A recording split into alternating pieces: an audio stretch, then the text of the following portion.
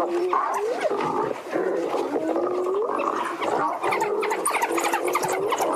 is unbelievable. This is incredible. Is this going to be quiet? Just watch